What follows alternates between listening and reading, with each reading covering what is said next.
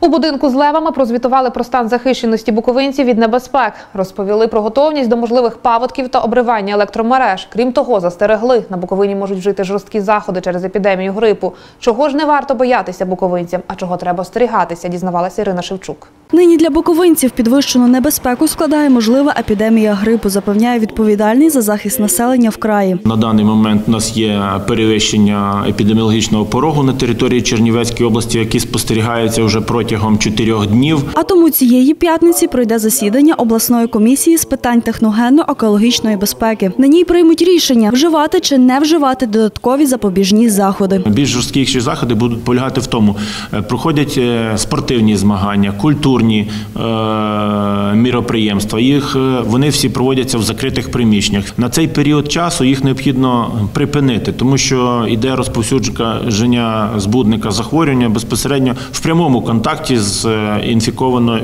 е, інфікованою особою. Окрім можливої епідемії, в управлінні захисту населення також прогнозують екстрені ситуації через погодні умови. До прикладу, обривання електромереж через налипання снігу, а також ожеледицю. Для забезпечення оперативного реагування на надзвичайні ситуації створено обласну мобільну е, групу. Ці всі сили можуть бути залучені для реагування на надзвичайні ситуації на території Чернівецької області. Їхнє завдання в межах години виїхати на ліквідацію е, всіма силами, залежно від виду надзвичайної ситуації. Після танення снігів рятувальники також очікують незначні повені на території Чернівецької області. До цього готові, запевняє відповідальний за захист населення на Буковині. Зараз розробляється додатковий план заходів.